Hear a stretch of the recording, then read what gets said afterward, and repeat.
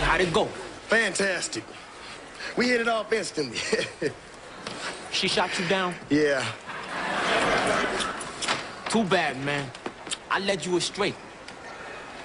Must have been me she wanted. Step aside, Eduardo. Hey, yo, tall thing. How'd you like to buy me lunch?